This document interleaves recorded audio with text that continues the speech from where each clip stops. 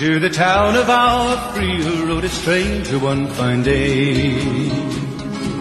Hardly spoke to folks around him, didn't have too much to say. No one dared to ask his